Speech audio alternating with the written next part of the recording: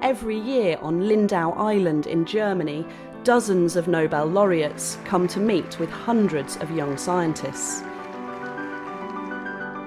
It's rare for so many laureates to gather like this, so I'm taking the opportunity to ask some big questions about the state of medicine today.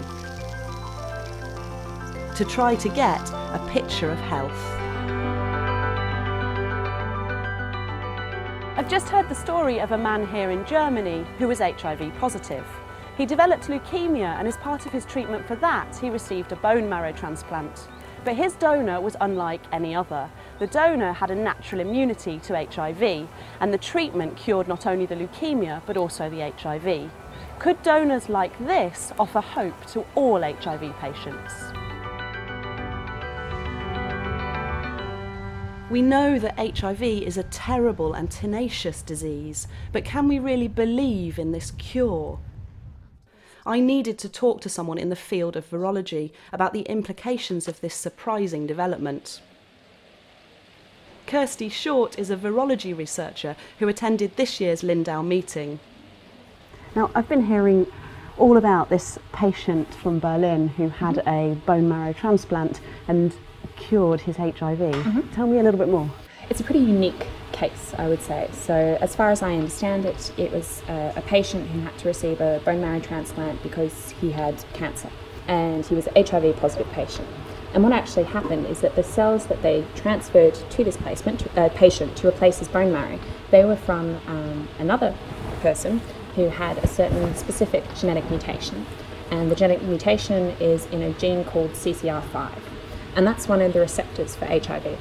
So what they did is for the Berlin patient who had cancer and was HIV positive, they wiped out all of his immune cells. They then transferred these new immune cells from this patient with this strange genetic mutation into that patient. What you see is that because the CCR5 molecule is the entry receptor for HIV, so it lets it, the virus infect the immune cells, if you have all the cells in your body which lack this molecule, you're not infected with HIV. So this patient has stayed negative for HIV since. It's the gatekeeper, if you like, that's stopping the virus from entering the cell. Is that the viruses need to enter a cell to replicate? They can't replicate without a cell, and different viruses have different signatures on a cell that lets them get into the cell. So yeah, it's a sort of a gatekeeper mechanism. You're right. I mean, it sounds like the start of a cure. What's to stop it being rolled out and available to everybody? So it's it's difficult. Um, I think the first practical point is a bone marrow transplant is not something you do every day, and it's not something you ever want to have to go through. So there's risks associated just with the procedure. So that's not necessarily something you want to expose patients to. It's very expensive. So when you think about where the burden of HIV is in the world, this is not going to be a feasible option in sub-Saharan Africa and bone marrow transplants, you really need to have um, good matching between the new cells of the donor and the old cells of the patient. So that's not necessarily always possible.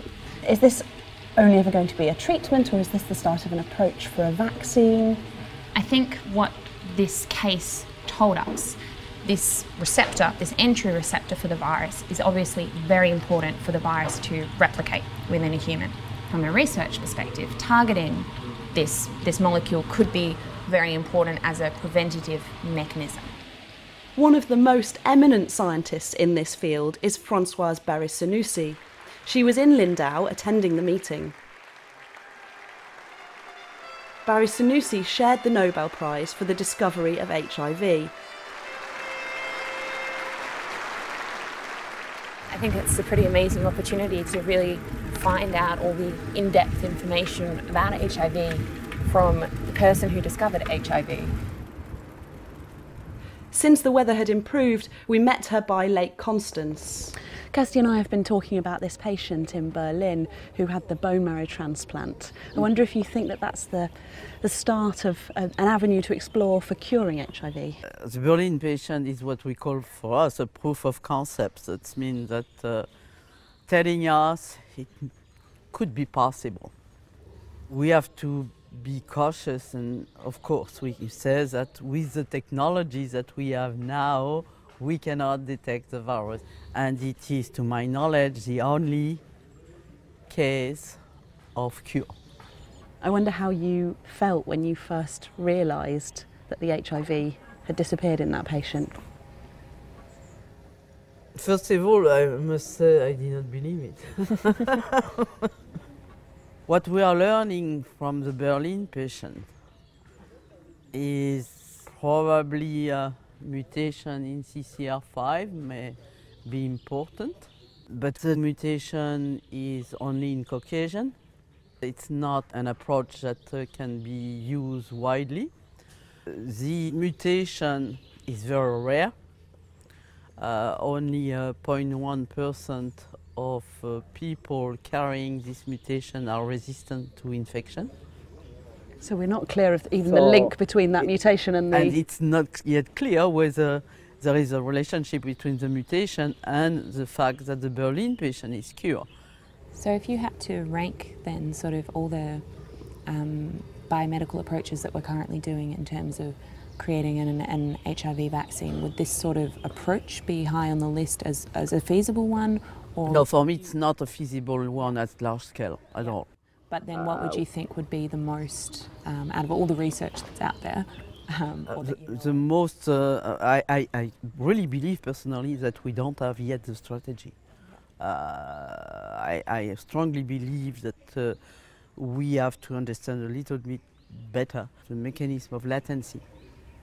Francoise and Kirsty explained to me that latency is where cells are infected with HIV but don't actually produce HIV. They lie dormant, in hiding as it were, and are called reservoirs. Antiretroviral therapy can produce a level of HIV in the blood so low that it is undetectable. But latent reservoirs of HIV continue to survive, and these can then reactivate. The biggest issue in latency is that the virus is latent in cells in the brain, or is it also that there's latency elsewhere, like in the gut? Is latency is everywhere. everywhere. It's everywhere. It's in the brain, it's in the gut, it's in the, the lymph node, it's everywhere in the body, which makes things very complicated. And when the virus is already integrated into the cells, no drug can have any effect. Why are we looking for a cure when it seems like the treatment, although it doesn't reduce the reservoirs, it does keep the infection under control? Why is it important to look for a cure? My answer generally to that as the patient. they are the one who has the answer. To know that every day you have to take a pill for all your life. With knowing, by the way, that after long term you may have side effects. You may develop cancer, you may develop cardiovascular disease, you may develop metabolic disorder. Do you think that public attitude to, to HIV is really becoming our undoing insofar as that so people of, of my generation and younger see HIV as, as something serious but a chronic infection? Do you think that's really uh, holding us back a little bit? Yes, I, I, I think so people think today that we don't care about HIV. We can be treated. Uh, of course, it's to take a pill a day. Who is not taking one pill a day? Yeah. Uh, so we have this kind of uh, complacency. yeah. Is now the moment for looking for a cure, and and why? Or for for the reason we mentioned at the beginning. First of all, the Berlin patient. Uh, that was the really the first uh, case in human of cure. Secondly, people have been identified as what we call elite controllers. They never receive any treatment. Uh, they are infected since more than 10 years, some of them now 15, 16 years. They uh, do not develop the disease. Uh, we are learning from the elite controller, but they are proof of concept, at least of what we call functional cure or what I prefer personally, remission, long-lasting remission. Which kind of cure are we looking for? Generally, when we are speaking about cure, we are speaking about eradication. That means elimination of all latently infected cells. This is almost impossible mission. Remission is probably our main goal. Remission, that means that we will have uh, long-term health without any uh, treatment, without any risk to transmit to others. I like to say that uh, we might be successful, I'm sure we will be successful in a remission in the future if we work all together as we did in the very early uh, years of HIV research. Will it be your, your crowning achievement, the lifetime's achievement, if, if we can really find a cure or a vaccine? Oh, I mean, that uh, will be a relief for me, you know, if it was a, a vaccine and, a cure, uh, uh, it's really a dream, you know. Uh, but the most things that I'm really uh, concerned about, I, I would not uh, like to leave this world with seeing re-emerging HIV epidemics. Mm-hmm. That, for me, will be a terrible failure. Uh, and I'm, I'm, I'm really uh, worried about that. The vision of the young generation today regarding this infection, the fact that uh, education information are less than it was, the government are less interested by HIV AIDS, we have a risk. And the government and the United Nations should take their responsibility uh, to avoid uh, this risk. How does that feel as a scientist to see that all of the amazing work discovering all of these things is just blown out of the water because the politicians don't listen? Oh, I mean, that makes you um, not only sad, uh, you are starting to be aggressive. uh, that was my my feeling. Uh, it's how I, I started to join the voice of the activists because I thought that was the only solution. Uh, to be together with the activists uh, to make pressure on the government. She was fascinating, I thought. It was amazing. It was, it was just, it was really nice to hear um, sort of her thoughts on the future and you know, it's it's so true that infectious disease will always be so important for human health. Yeah, I thought it was really interesting as well how she was motivated to activism yeah. by the lack of response from politicians. But especially with HIV, it's a big part of the problem. But it's, it's, it's inspiring, you know? It means that what you do it does actually, in the end, make a difference. At first, the Berlin patient seems to offer hope for everyone with HIV. Francoise and Kirsty explained it's not as simple as that, although it does show that a cure could be possible. But as treatments progress, we shouldn't take our eyes off prevention, for we risk another epidemic.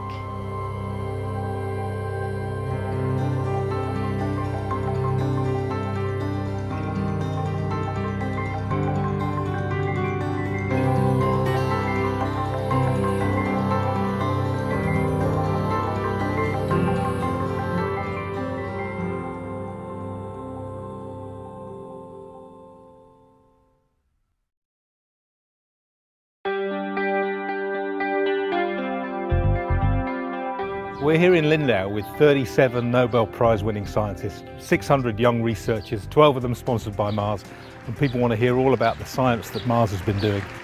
Well, the great thing about coming to Lindau is that we get to spend time with science's rock stars. You're aware that you're in the presence of greatness. And the more that we can find ways of engaging some of the finest minds in the world to helping us solve some of these grand challenges, I mean, there's got to be some great stuff in there. One of the things we do is we like to have a lunch where we basically spend time with the young scientists that we've sponsored to come here and tell them a little bit about the kind of company that we are, the kind of work that we do, and why we passionately believe that these great scientists should consider coming to a company like Mars for a lifetime career in fun science that will make the world a better place best part really is that you get to actually meet these young scientists who will look at you in the eye and say, this is the best week of my life. To sit with a Nobel laureate and have a conversation, that is a gift. So we have a science breakfast, which is the opportunity for us to host a discussion around a very meaningful area of research of healthy aging. So we have Liz Blackburn, who won a Nobel Prize in this field, and we put her together with a group of young scientists in a forum facilitated by ourselves. Let's think about the huge amount of years that human lives are, right?